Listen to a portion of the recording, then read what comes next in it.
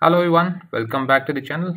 So in today's video, we are going to talk about how we can build any intelligent assistant for your company's environment and leveraging Azure OpenAI and uh, custom built Azure Web API as a middle layer where we are going to make calls. And right now I'm showing you my just dummy intranet portal that has multiple applications. So if i just click on these applications which has the different different forms and along with that i have this smart assistant created for my company's site and which can help us to do the intelligent actions based on whatever prompt or whatever instructions we pass to our this assistant. So in my past video, I created one small application with Power Apps and leveraging Azure OpenAI with Power Automate where we fetched the extracted the information from the document and fill out the forms. So let's take it forward. So right now in today's video, I am not going to take example of Power Apps because it's generic one. The UI can be anything. It's a, it can be a SharePoint portal with SPFX web part. It can be just .NET application which having which is having a simple form. And so the backbone would still be like we are going to create one web API ASP.NET which we are going to host into Azure. And that web API endpoint will be called whatever action intelligent action we want to do with our this assistant application or with this our forms. So let's talk about uh about the architecture how I have built this application so of course like we have this three parts. First part is ui part. So ui part as i said it can be sharepoint sps web part can be asp.net web application. It can be power apps as well because we are going to write this application which is in the middle that is azure web app and that would have three different endpoints specifically for the use case which we are talking about today of doing an intelligent document parsing so not only document parsing but also like whatever speech we are giving to our assistant it will pass that into structured data.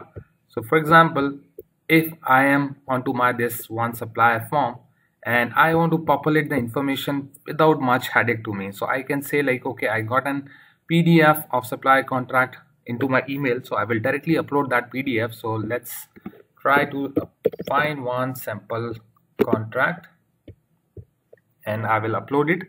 So my assistant what it will do is it will fetch the structured data out of the unstructured data which I provided. So you can see if I close up this window, the document, the form is pre-populated with the supply information, contract title, start date and date. It intelligently it filled out all the information.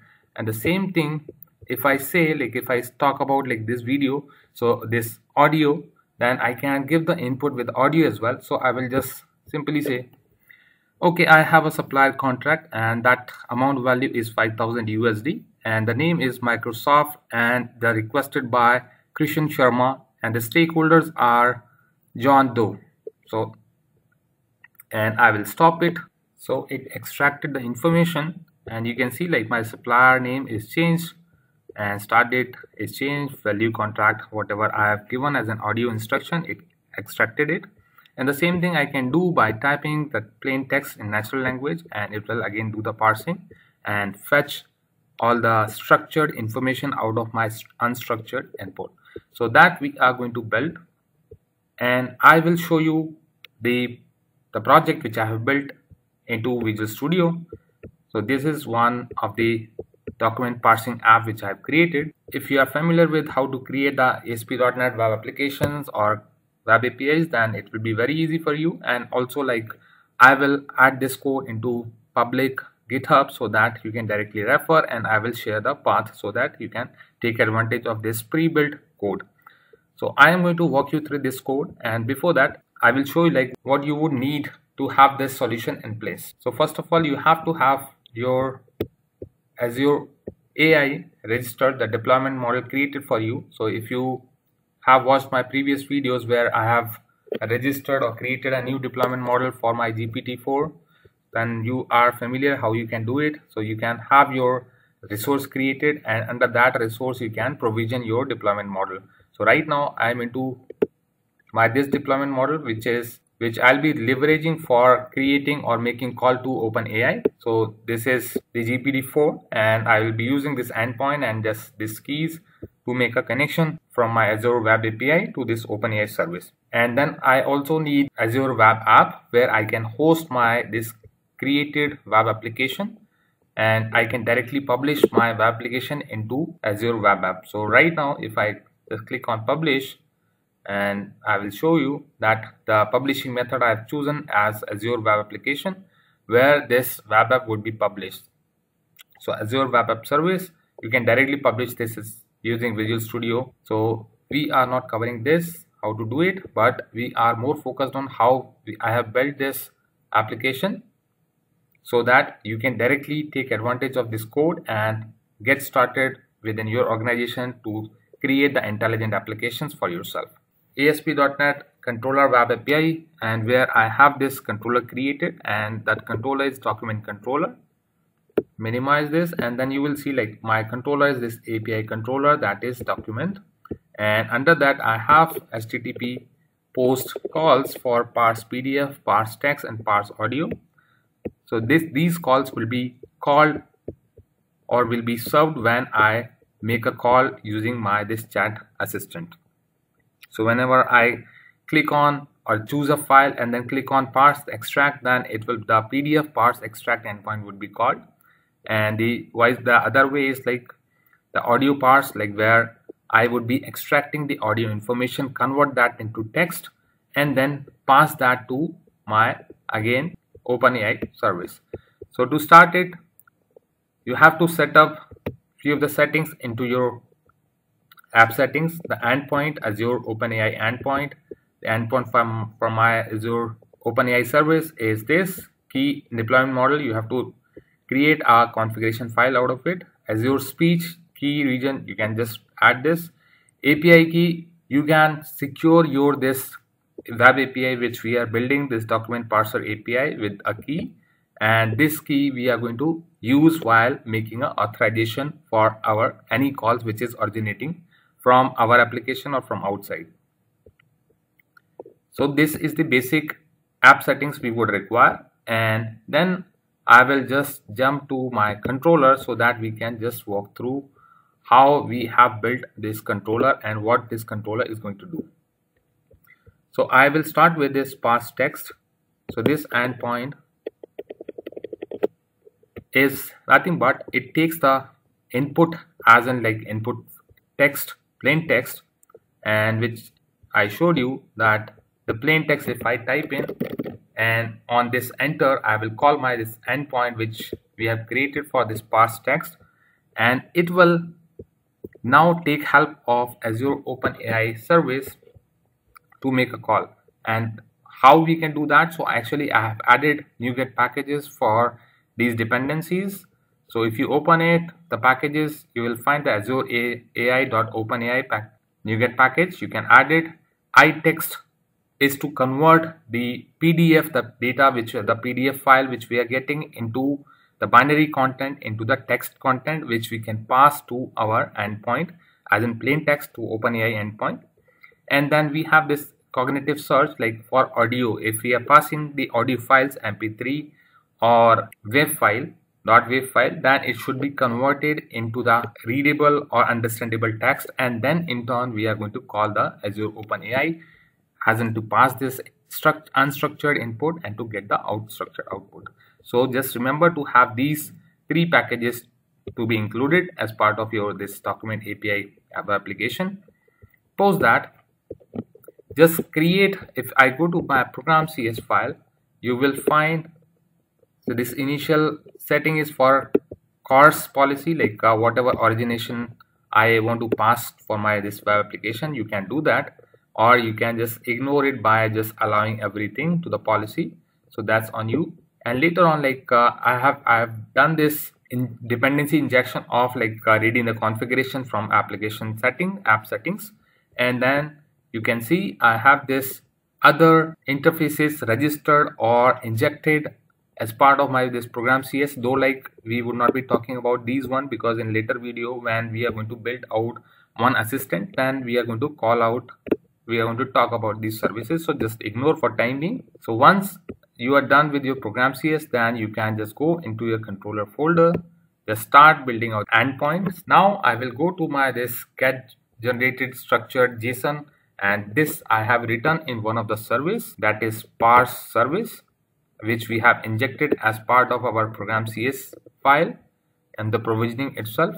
So what it does is like it reads out all the configurations the Azure OpenAI endpoint, the keys which we needed, and then we have this main method that is generate structured JSON. So what it does is it takes the plain text and generate the structured output out of it. And how to get the structured output where we, we can provide the instruction what output they need to generate, the OpenAI need to generate. So we are passing, we are taking help of this instruction that is let's say I want to extract my this contract request. So the request the JSON, the instruction we are passing to our AI model is that role is system and content. You are an AI assistant that extract key details out of my supplier contract and return the data into JSON fields. And what fields I want because my form, I know like my form reads out these fields. So I can have this simple ready to be as passed as an instruction prompt to my this OpenAI model so that they can understand what output they need to generate. So if I go back to my this service of generate structured output and go back over here so you can see I am passing this instruction as an input text and the instruction key instruction key is nothing but this contract JSON contract request JSON you can create multiple JSON files for example for access card requests or for onboarding of employee you can create multiple json which you want to extract the information out of in a particular structured manner in a json. So you can pass on and later on with this chat completion option like we are defining like what temperature and max token this we are just uh, controlling the rate limits. And then later on we are just making a call to get chat completion from openai client and we are passing the deployment name and the chat options which we built initially and the message which we built out of our input text which we have passed and the system prompt from json file. So these are simple calls and then the response which we are expecting we will get that into json and we are passing that json and passing that back to our calling application the originated application which can be one form or any chat assistant or even power apps. So once you get it just pass it and show at your front end side. So this application this web api is independent. It's not tied up to any ui so if i run that into my local host and open my postman i can show you how this will be called so that if you want to run this code into your own environment then you should able to know how you can test your application. So i'll just open the postman and as i just did a f5 so it's running in localhost it's not published to Azure web app as of now. So this is my local host port number and I am appending API document and the parse text which is my this endpoint from this document controller API and so over here you can also specify like what uh, next parameter like what instruction or the model it can pick. So right now it's hard coded. If you see like pass text always pick the instruction as contract request but you can pass that as a parameter into over here if you wish to do it for multiple other forms as well.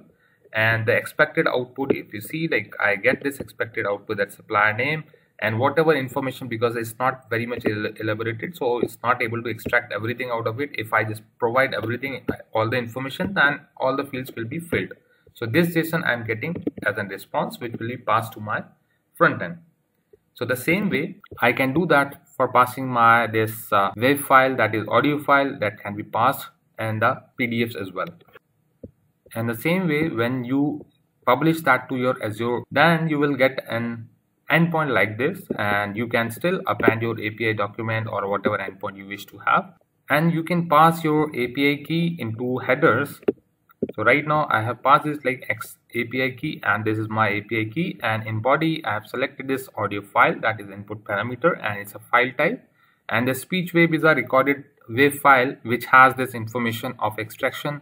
And if i do a send then it will get the data out of my this recorded audio and will parse will give me the same structured data out of that video and the same thing I can do with my this file this PDF file. If I just click on this other endpoint over here in the body choose this PDF file the input parameter as an PDF file and do the same sort of parsing which I'm expecting from my unstructured data as in structured data. So the intent of this video is to familiarize you with my this this product which I built for document parsing though like it has many other things which I am going to cover into my next video so this is related to just creating one generic assistant which can do everything. So you are just going to create this helper instruction and knowledge files and these instructions the the way you want to read those output and you are just set to go. So it will actually would be more smart to read out what intent you want to have and based on that intent it will serve the request. So for example you want to you want to say that i want to hire a new employee so what should i do? So this engine the smart intelligent engine which we have built it will read out the entire the intent that you want to onboard an employee. It will give you all the steps to onboard along with urls or the request urls which you want to access. So for example i'm into this and i will say i want to onboard new employee and i'm just doing nothing just sending this prompt to my this openai model and it will make a decision that what we want to do about my request. So this assistant is giving me that okay step one you have to do this step two you have to do this and all this. So this is end-to-end -end assistant for your organization and you can very well download it from my, from my git location and you can contact me if you face any difficulty in setting up for yourself. So that is it for today's video and i will create one more follow-up video for this so that i can guide you how my this intent engine the one more endpoint which is there related to workflow handler how this handle everything all the intents from end user and redirect to the actual intended routes to them. So that is it for today's video. I hope like you may find it useful. Thank you